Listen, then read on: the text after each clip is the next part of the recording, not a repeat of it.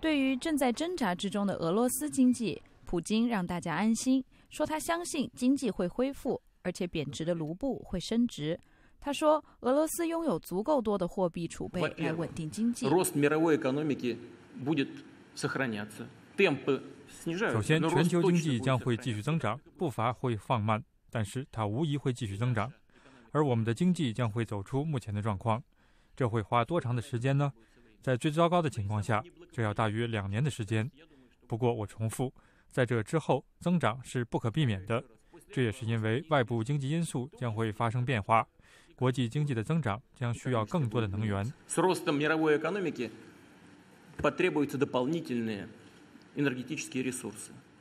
普京所说的外部经济因素，指的是西方国家在俄罗斯今年三月吞并乌克兰的克里米亚之后，对他采取的制裁。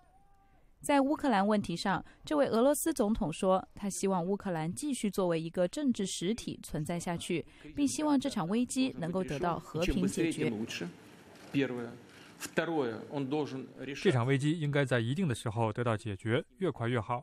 其次，他应该通过政治途径，而不是压力，不管是经济封锁还是使用武力来得到解决。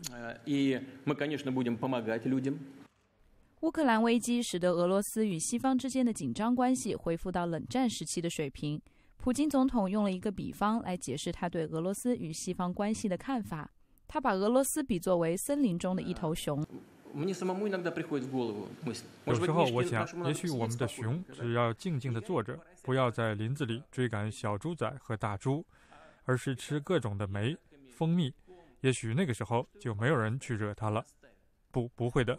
因为他们总是要试图给他戴上锁链，而且一旦他们成功的话，他们将会拔掉他的牙齿和指甲。用今天的话说，这意味着核威慑力量。一旦发生这种情况，但愿不要发生这样的事，他们将不再需要这只熊，他们将接管整个森林。尽管与西方关系紧张，而且经济摇摇欲坠，美联社公共事务研究中心星期四公布的一项民意调查显示。大约百分之八十的俄罗斯人仍然支持普京总统。不过，这项民调也发现，民众对俄罗斯经济的信心正在下滑。